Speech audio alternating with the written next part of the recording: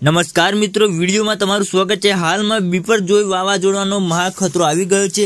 આ વાવાઝોડાની અસરના કારણે ગુજરાતના એકસો ચાર તાલુકામાં વરસાદ નોંધાયો છે અને સૌરાષ્ટ્રના વિસ્તારોમાં આજથી પંદર તારીખ સુધી તમામ શાળા તથા કોલેજોને બંધ રાખવા માટે જિલ્લા કલેક્ટરનું જાહેરનામું બહાર પાડ્યું છે અને માંડવીથી જખોના વિસ્તારમાં આ વાવાઝોડાની ભયંકર અસર હોવાથી આ વિસ્તારના નવ હજાર પાંચસો લોકોનું સ્થળાંતર કરવામાં આવ્યું છે.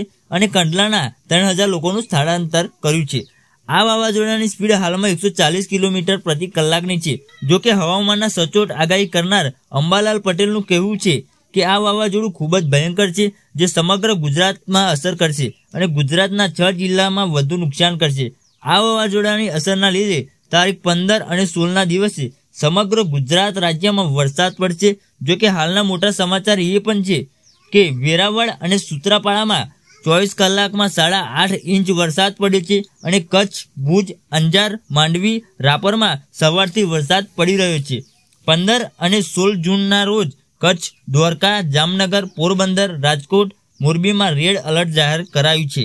આ છ જિલ્લામાં એકસો પચીસથી એકસો પાંત્રીસ કિલોમીટરની સ્પીડે ભારે પવન ફૂંકાવાની શક્યતા છે. મિત્રો, તમે આ લિસ્ટ પણ જોઈ શકો છો કે કયા તાલુકામાં ચોવીસ કલાકમાં કેટલો વરસાદ પડ્યો છે. હવામાનની નવી ખબર માટે અમારી ચેનલને સબસ્ક્રાઇબ કરી જોડાયેલા રહો અને હવામાનના સચોટ સમાચાર મેળવતા રહો.